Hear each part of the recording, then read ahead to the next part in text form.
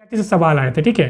तो नमस्कार दोस्तों, आज के वीडियो में हम लोग बात करने वाले हैं जेएसएससी सीजीएल की आप तैयारी कैसे करेंगे? फाइनल प्रिपरेशन के लिए कौन सी बुक आपको यूज़ करनी चाहिए? टेस्ट सीरीज़ आप कैसे लगाएँगे? तो पूरी चर्चा करने वाले हैं। सबसे पहले सिलेबस पे बात करते हैं।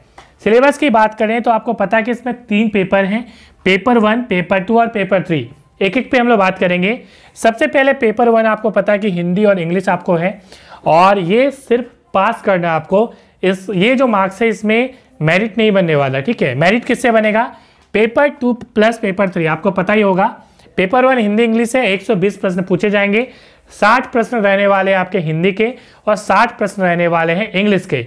आपको 30 परसेंट लाना है और पास कर जाना है, ठीक है? और 30 परसेंट यदि आप सिर्फ़ इंग्लिश में भी लेके आते हैं तो भी आप पास माने जाएँगे। मीन्स हिंदी इंग्लिश दोनों मिला के आपको 30 परसेंट लाना है, ठीक है? और इसमें पैसेज भी रहेगा। और आपका जो ग्रामर वगैरह रहता है, उससे भी रहता है, ठीक है? तो आप आराम से पास कर जाएँगे। इसके लिए आप पॉल्यूशन की बुक हिंदी वाली बुक आप यूज़ कर सकते हैं। इंग्लिश के लिए आप कोई भी यदि आप यूज़ कर रहे हैं, कोई भी ग्रामर वगैरह अच्छे से पढ़ लीजिएगा नाउन वगैरह तो आपका हो जाएगा। इसमें बहुत ज़्यादा दिमाग लगाने की ज़रूरत नहीं है। पेपर टू की हम लोग बात करें, हम लोग मेन फोकस करेंगे पेपर थ्री पे, ठीक है? ये सबसे इंपॉर्टेंट पोर्शन है। इसमें कौन सी बुक्स आपको यूज़ करनी चाहिए? ये हमारा एक मेन टॉपिक आज का है। पेपर टू की बात करें तो रीजनल लैंग्वेज है। और इसमें से आपने चूज़ किया होगा खोटा या समथिंग कुछ भी कमेंट में बताइएगा आपकी आपने कौन सा यूज़ किया है, ठीक है? अब यहाँ पे हंड्रेड प्रश्न इससे रहेंगे। रीजनल लैंग्वेज से दो घंटे आपको मिलने वाले हैं। दो घंटा पेपर वन में भी मिलेगा, दो घंटा आपका पेपर टू में भी, और दो घंटे आपके पेपर थ्री तीनों में आपके दो दो घंटे ही हैं, ठीक है? तो इसमें हंड्रेड प्रश्न रहने वाले रीजनल लैंग्वेज से। और नेगेटिव मार्किंग वही है, जैसे आपका नेगेटिव मार्किंग तीन प्रश्न के लिए, एक यदि आप सही प्रश्न करते हैं तो तीन मार्क्स आपको मिलने वाले हैं। और यदि नेगेटिव कर देते हैं तो एक मार्क्स कट जाएगा। मतलब वन बाई थ्री आपका नेगेटिव मार्किंग है। ठीक है? ये हमने देख लिया रीजनल लैंग्वेज तो रीजनल लैंग्वेज आप जो भी यूज़ करते हैं कमेंट में बताइएगा। एक अलग से मैं वीडियो उसका बना दूँगा कि आपको रीजनल लैंग्वेज के लिए कौन सी बुक्स आपको यूज़ करनी चाहिए। आप कौन सा रीजनल लैंग्वेज चूज़ किया आपने, उस आधार पर मैं बताऊँगा, क्योंकि बहुत सारी रीजनल लैंग्वेज है। कमेंट करके बताइएगा। ठीक है? पेपर थ्री पे चलते हैं। सबका कॉमन है और इससे मेरिट बनेगा। मैंने बोला पेपर टू प्लस थ्री से मेरिट बनेगा, ये और ये, ठीक है? अब इसमें जैसे सबसे पहला जो पोर्शन है, वो सामान्य अध्ययन है। सामान्य अध्ययन में तीस सवाल पूछे जाएँगे, ठीक है? मतलब नब्बे मार्क्स अब तीस सवाल का मतलब है कि इसमें क्या क्या प्रश्न आएँगे? इससे हिस्ट्री से सवाल आएँगे ज्योग्राफी से आएँगे इंडियन हिस्ट्री की बात कर रहे हैं। Indian geography Indian polity economics ठीक है? ये सारे यहाँ पे इंपॉर्टेंट टॉपिक है। आप इसको एन e से कर लीजिए अच्छे से, ठीक है? एन e आपको सिक्स से लेकर एट तक पढ़ लेनी है, यदि आपको टाइम मिले तो ठीक है? या आप ल्यूसेंट वगैरह यदि आपने पढ़ा होगा तो हिस्ट्री जोग्राफी पॉलिटी आप अच्छे से कर लीजिए, ठीक है? और देखिए, यहाँ पे तीसरे प्रश्न बनेंगे, और यहाँ से अभी रामबान यदि आपने, आपके पास समय नहीं है तो कौन कौन सा टॉपिक करिएगा मैं बता देता हूँ, ठीक है?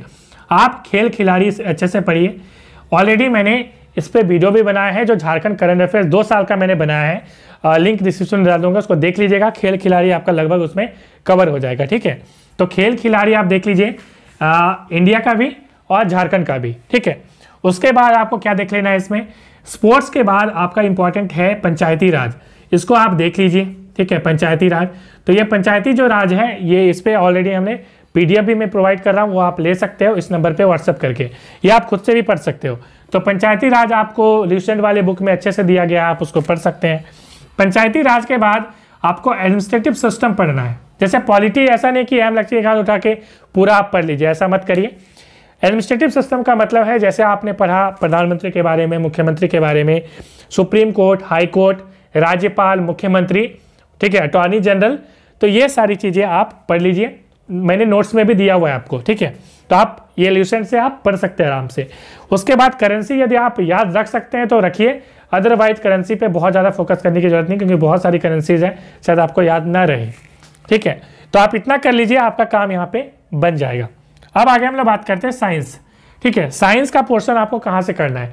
साइंस आप एनसीईआरटी से करिए। पिछली बार एनसीईआरटी से सवाल आए थे, ठीक है? तो एनसीईआरटी आप ज़रूर करिए। एनसीईआरटी आपको नाइन और टेंथ ज़रूर करना है। फिजिक्स केमिस्ट्री बायोलॉजी तीनों करना है, ठीक है? एनसी आपने एनसीईआरटी कर लिया। उसके बाद ल्यूसन का टाइम मिले तो करिए। अदरवाइज़ छोड़ दीजिए एनसीईआरटी इज़ सफिशियंट उसके बाद हम बात करें मैथ्स की।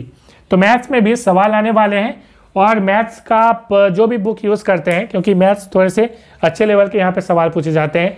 तो चाहे आप आर सवाल यूज़ कर रहे हैं, चाहे आप यादव जी की बुक का आप यूज़ कर रहे हैं तो जो भी आप बुक यूज़ कर रहे हैं तो आप उसको मैथ्स का यूज़ कर सकते हैं, क्योंकि ये अलग अलग बहुत सारी पब्लिकेशन की बुक है।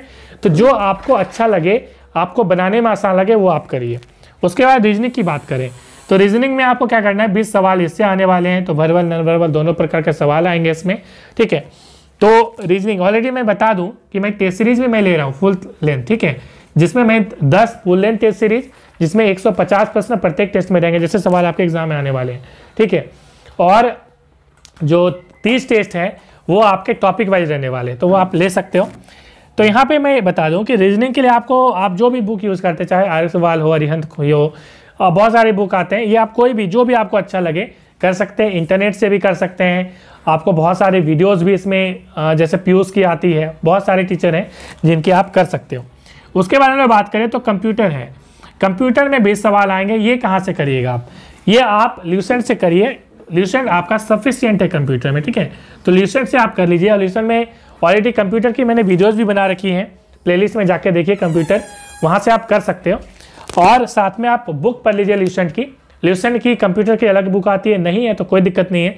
जो आपका ल्यूसेंट का जो बुक है, ठीक है थियोटिकल वाला हो चाहे एमसीक्यू वाला हो, दोनों आप ले सकते हो। उसमें कंप्यूटर सेक्शन है। वहाँ से आप कर लीजिए, आपका कवर हो जाएगा। उसके बाद हम लोग बात करें झारखंड जीके की, ठीक है। तो झारखंड जीके में चालीस सवाल आने वाले हैं। और झारखंड जीके की पूरी प्लेलिस्ट मेरी बनी हुई है, उससे कर सकते हैं। या झारखंड जीके सबसे अच्छी है उड़ान। तो उड़ान पब्लिकेशन से आप कर सकते हो झारखंड जीके जिसमें करंट अफेयर्स भी आने वाले हैं तो करंट अफेयर्स मैंने करवा दिया है। दो साल का, उसको आप कर लीजिए। आपका कवर हो जाएगा और झारखंड करंट अफेयर्स में जितने भी इंपॉर्टेंट टॉपिक हैं ऑलरेडी हमने कहा जैसे झारखंड की कला संस्कृति सबसे ज़्यादा इंपॉर्टेंट है, उसको करिए। ठीक है?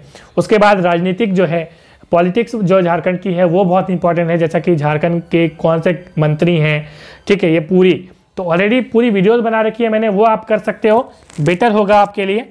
और बुक्स आप यदि पढ़ना चाहते हैं तो आपको पूरा टॉपिक जो है उठा उठा के देख देख के आपको जो सिलेबस में है, वो आपको पढ़ना पड़ेगा।